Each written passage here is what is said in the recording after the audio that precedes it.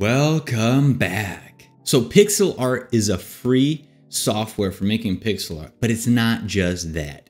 It's also pretty much a pixel art social network. I haven't been to it in a while and I've got a thousand followers on there now.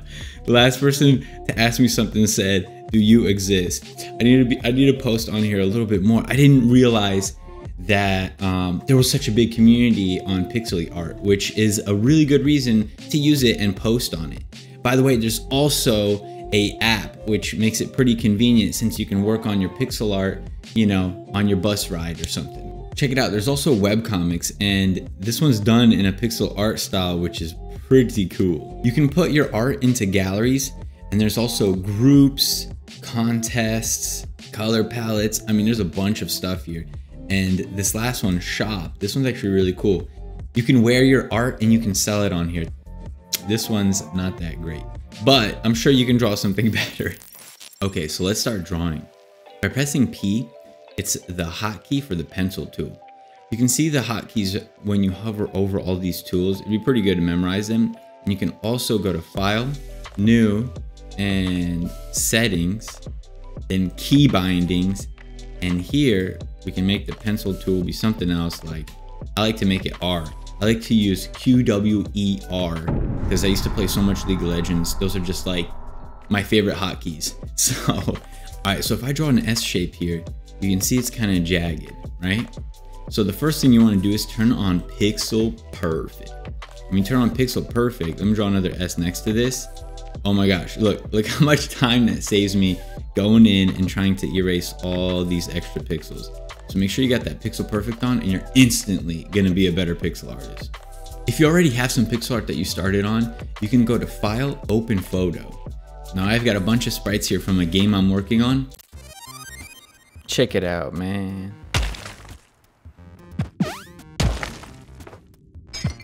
It's a free mobile game you can download now on Android, and it's coming to iOS and PC too.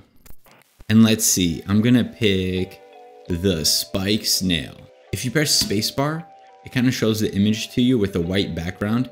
So what I could do is I can add a layer, and then if I click it and drag it, I can go down, and then here we can choose a background. So let's say we wanted to see what this would look like on some brown, there you go.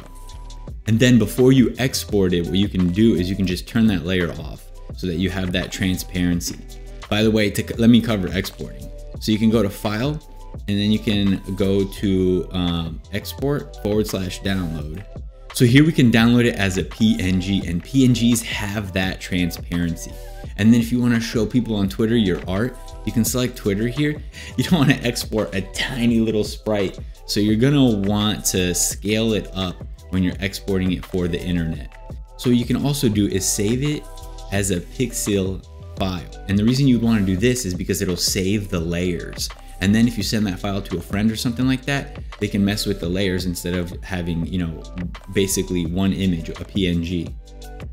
Something pretty cool I want to show you is that there's this little gear right here next to layer options.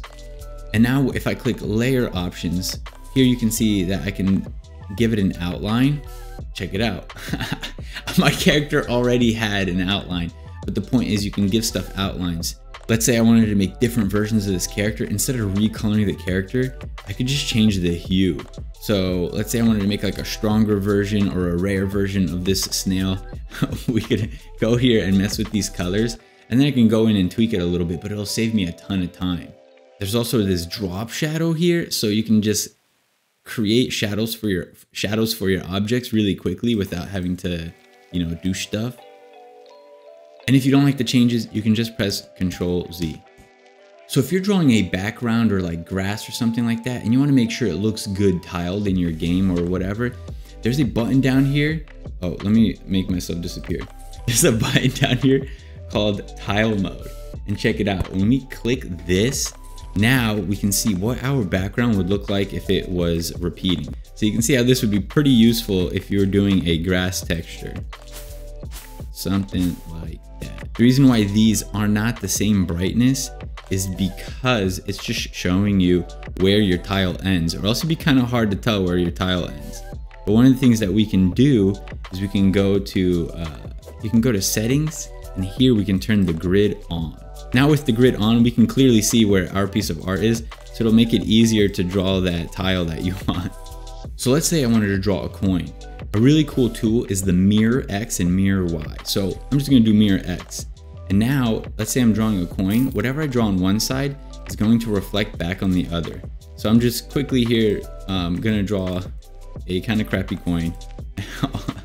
so I added a frame and you can see there's a very light version of the previous frame. So what I can do now is take the selection tool, select this coin, and here you can click one of these icons, or you can press Control C, and then and then let me go back to the next frame. And here I can press Control V and I pasted it. And let's say we wanted the coin to, to start like spinning or whatever. So I'm gonna squish it on both sides here. Maybe I did a little too much. Whatever, maybe something like that. And uh, oops, there we go. That's a good spot. And I'm gonna press R. I'm just gonna color in the oh, I gotta turn off the mirror tool. And I'm just gonna color that in a little bit. And now if I go to the frames and I press spacebar, we can see it animate. And this obviously needs more frames. But the cool thing is that you can create animations in Pixilart. So now when I export it, I can export it as a GIF and it'll be animated or as a sprite sheet.